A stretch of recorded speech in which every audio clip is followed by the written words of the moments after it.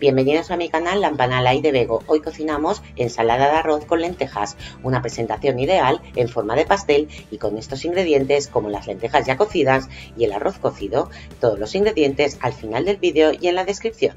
Comenzamos la receta poniendo a cocer los huevos. Les añadiremos una cucharadita de sal para pelarlos mejor y un chorrito de vinagre para contener la clara en el caso de que se rompa la cáscara. Los coceremos durante 10 minutos los 10 minutos, los pescamos e inmediatamente los introducimos en un cuenco con agua fresca y de esta manera cortamos la cocción y los enfriamos un poco antes de pelarlos.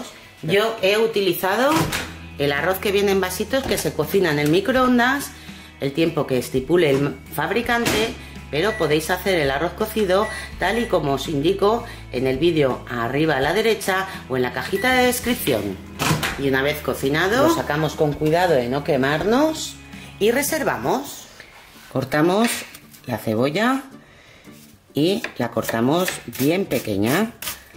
Primero a tiras finas y después a cuadraditos bien pequeños. Y ahora trasladamos nuestra cebolleta y ahora hacemos nuestro truco que siempre funciona. Espolvoreamos con un poquito de azúcar, removemos y dejamos sudar unos 5 minutos. Ahora que han pasado 5 minutos a remojo la cebolla sudando, la enjuagamos bien debajo del agua del grifo. Escurrimos bien apretando para quitar el exceso de agua y trasladamos a un bol donde reservamos. En el mismo escurridor vamos a escurrir las lentejas del bote y las enjuagamos bien debajo del agua del grifo, escurrimos bien y las pasamos junto con la cebolla. Incorporamos también el arroz cocido y ahora añadimos un hilo de aceite de oliva virgen extra. Removemos con cuidado y mezclamos. Bueno, pues ya lo tenemos bien mezclado, así que reservamos. Preparamos el molde donde vamos a hacer la ensalada poniendo aceite de oliva virgen extra o aceite vegetal y embadurnamos el bol que tenemos mezclado con las lentejas. Pondremos una tercera parte del contenido en nuestra base. lo vamos acoplando al molde y reservamos. Y ahora vamos a preparar el tomate de ensalada. Y lo pelamos. Queda mucho mejor si lo peláis. Y ahora se trataría de cortarlo en láminas finas. Haríamos primero tiras finas y luego cuadraditos pequeños. Y así lo haremos con todo. Y mezclamos el tomate en un bol junto con el atún en conserva, en este caso es al natural, ya escurrido. Y esto lo vamos a mezclar bien. Y una vez bien mezclado, vamos a pasarlo a nuestro molde. Como solo es una capa, pondremos todo el relleno. Y ahora la vamos a distribuir de forma que quede bien nivelada y del mismo grosor por todos los lados, apretando ligeramente para acoplarla a nuestro molde. Vamos a poner la mitad del relleno de arroz con lentejas que nos quedan y cubrimos, lo extendemos bien, acoplándolo al molde, apretando ligeramente.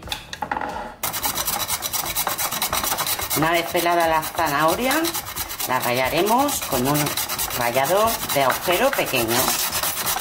Incorporamos también el maíz. Mezclamos con la zanahoria y hacemos otra capa con el maíz y con la zanahoria y de la igual manera lo iremos acoplando a nuestro molde. Y por último pondremos la última capa de arroz con lentejas. Extenderemos por todo el molde, acoplándola igualmente y presionando para que vaya quedándose compactada y vaya tomando la forma de nuestro molde. Y por último vamos a tapar bien e introducimos en el frigorífico como mínimo 30 minutos antes de servir, aunque podéis hacerlo de un día para otro. También podéis dejar preparada ya la vinagreta. Yo lo utilizo en un envase de yogur que tengo tapa y si no lo tapáis con film plástico y añadimos aquí 4 cucharadas de aceite de oliva virgen extra una cucharada de vinagre añado también una cucharadita pequeñita de mostaza y aquí añado una cucharadita de sal. También le pongo un poquito de pimienta molida. Y la vinagreta no la voy a agitar hasta el momento de utilizarla, así que la tapamos y reservamos. Pues nos hemos venido al campo y hemos cortado los huevos cocidos y ahora vamos a desmoldar nuestra ensalada.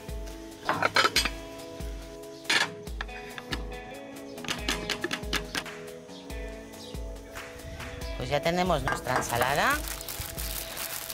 Y ahora ponemos la lechuguita alrededor. Y rematamos con nuestras aceitunas. Una presentación ideal. Y no va a faltarnos nuestra vinagreta, que ahora sí la agitamos. Servimos dejándonos un poquito para que cada uno se sirva como más le guste. Una delicia que no puedes perderte. Espero que si te ha gustado este vídeo le des al me gusta y que te suscribas al canal si todavía no lo has hecho. Espero tus comentarios y nos vemos en el siguiente vídeo. Bon profit!